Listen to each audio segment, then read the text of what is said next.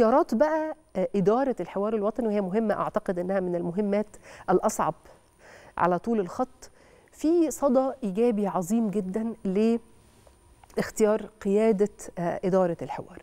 الأحزاب المصرية مجتمعة بعد إصدار قرار من الأكاديمية أو بيان الأكاديمية الوطنية للتدريب معظمها أو كل الأحزاب الوطنية بدأنا كده بتوافق حقيقي على شخصية وطنية مصرية هو الأستاذ ضياء رشوان نقيب الصحفيين كمنسق عام للحوار الوطني. الأحزاب اللي أعلنت بيانات هذا التثمين وهذا وهذا الترحيب بالأستاذ ضياء رشوان حزب مستقبل وطن حزب إرادة جيل حزب الاتحاد الديمقراطي حزب المصريين الأحرار الأحرار الدستوريين حزب الإصلاح والنهضة وحزب التجمع حزب المؤتمر وحزب العدل والعديد من الأحزاب اللي كلها قالت خير. إحنا جاهزين إحنا موجودين وإحنا على مائدة الحوار إذا دعينا لذلك وجميع الأحزاب مدعوة لذلك. خلونا نمسي على سيادة النائب تيسير مطر رئيس حزب إرادة جيل وعضو مجلس الشيوخ. أهلا بيك سيادة النائب. أستاذة دينا ازي حضرتك؟ أهلا بسيادتك. أهلا بيك. إحنا في كلامنا في كلامنا عن الحوار الوطني مدركين تماما إنه الأحزاب السياسية المصرية هم فاعل رئيس في هذا الحوار. كلمني عن استقبالكم اولا للحوار الوطني من أول قرار الرئيس بالإعلان عن الحوار الوطني وحتى تنسيق وجود الأستاذ ضياء رشوان منسقا عاما للحوار والمستشار محمود فوزي كأمين عام لتفاصيل الإدارية الكتير.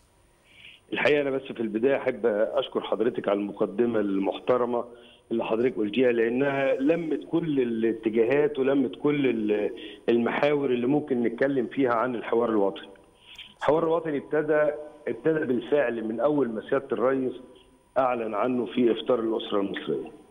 الحوار الوطني هو زي ما حضرتك قلتي مجموعة من الناس بنتبادل أفكار أو بنتكلم حتى نعرف بعض يعني اتكلم عشان أعرفك. آه تكلم حتى أراك صح؟ بالظبط يا فندم. الحوار الوطني لكل الأطياف لكل الفئات كل الأحزاب.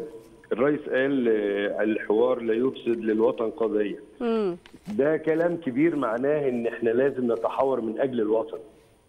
مش من أجل الاختلاف أو من أجل إظهار القوى أو غيره. بالعكس إحنا عايزين نتكلم من أجل المواطن من أجل مستقبل بلدنا من أجل استمرار التنمية.